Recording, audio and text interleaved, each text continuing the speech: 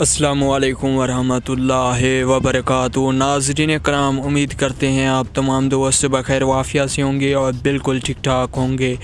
नाजरीन कराम रिजवी शेर का, बाबा जी के शेर का मीडिया के ऊपर लाइव इंटरव्यू लाइव प्रोग्राम के अंदर कमाल ही कर दिया है। बाबा जी के शेर ने वो मुकम्मल इंटरव्यू भी शेयर करेंगे, जो कि उन्होंने फोर्टी टू न्यूज़ को दिया है। उससे पहले रोही न्यूज़ ने भी बहुत ही शानदार किस्म की तहरीक लबैक पाकिस्तान को कवरेज दी है। वो भी आप लोगों के साथ शेयर करने जा रहे हैं।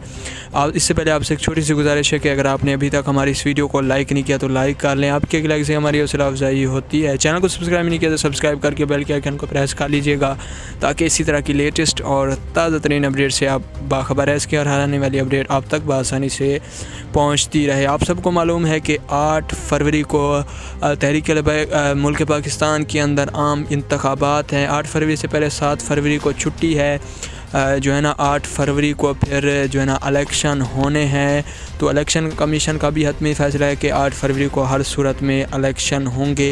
इन तहरीक लबैक पाकिस्तान की सूरत में हजूर सल्ला वसम का दीन तख्त पर होगा।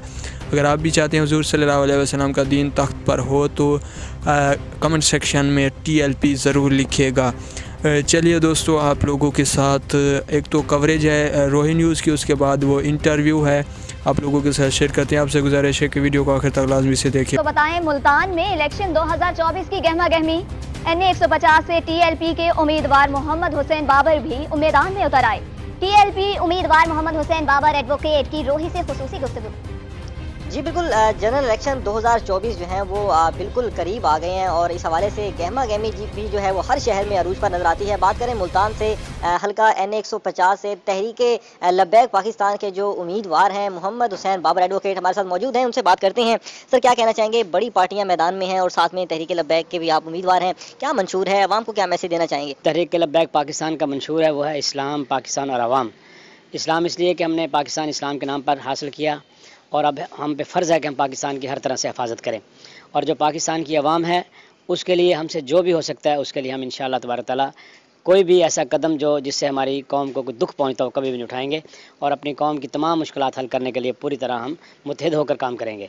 और अल्लाह ताला के फजल करम से, क्योंकि ये बात ही इस्लाम की है, निज़ाम मुस्तफ़ा के नफाज की है।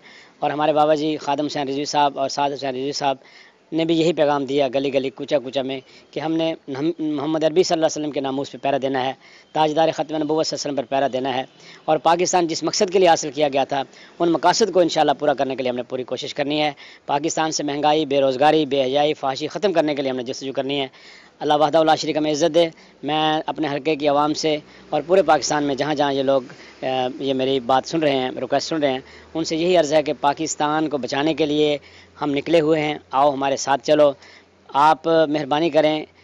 आठ फरवरी को क्रेन पर ठप्पा लगाकर ये साबित कर दें कि मोहम्मद अरबी सल्लल्लाहु अलैहि वसल्लम के ग़ुलाम अभी ज़िंदा हैं। वो जो जिस मकासद के लिए पाकिस्तान को हासिल किया था वो मकासद इन तबार हम पूरे करेंगे। आठ फरवरी को जितनी भी आवाम वोट कास्ट करने के लिए निकले उस हवाले से भी अपनी तहरीक लबैक पाकिस्तान को वोट कास्ट करने के हवाले से वो तमाम अपने हल्के की आवाम से अपील भी कर रहे हैं। तो इस हवाले से तमाम उम्मीदवार जो हैं वो मैदान में उतरे हुए हैं और एक इलेक्शन की जो गहमा गहमी है वो भरपूर अंदाज से जारी है। चौदह की चौदह तीस की तीस। अल्लाह की बारगाह में हमें उम्मीद है।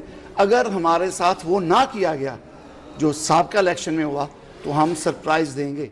चौदह में से तीस में से कितनी? जी इस वक्त तो अदादो यहाँ तो कोई बड़ा प्लेयर भी नहीं खेल रहा ना मतलब सात भाई की बाहर है ना हम है ना।